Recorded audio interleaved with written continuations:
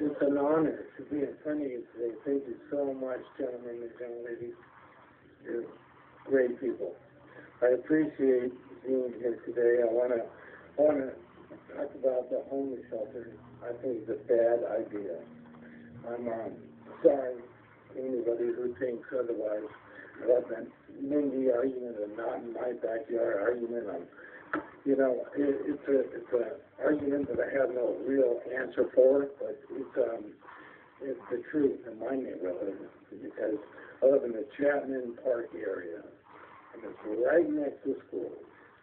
And there's definitely an increased crime rate among the homeless. I mean, I'm, I, I'm sorry that, that things have turned out so badly for some people. I mean, it's terrible, mental health issues and everything else. Um, but when it comes to protecting our kids, I think that, that trumps that. We, we gotta protect our kids. And, and, uh, I mean, there's parasite issues, a lot of health and safety concerns when it comes to, um, adding a shelter like this.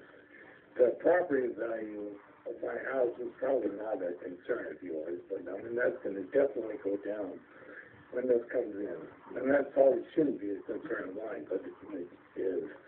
Um, I really don't want anybody to, um, overlook the, the, the health and safety concerns of, of, of, um, this, this, uh, proposition or measure or whatever, because I do think that the safety of our kids trumps anything you could possibly say about.